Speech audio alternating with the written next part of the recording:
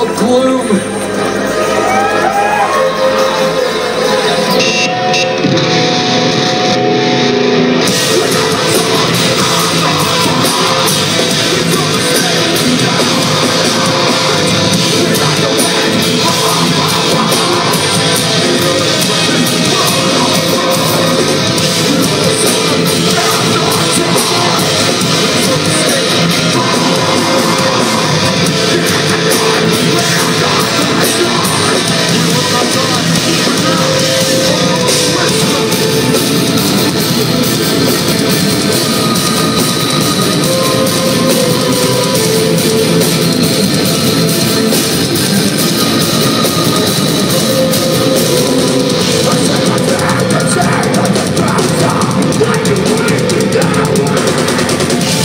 Take me to the stars above.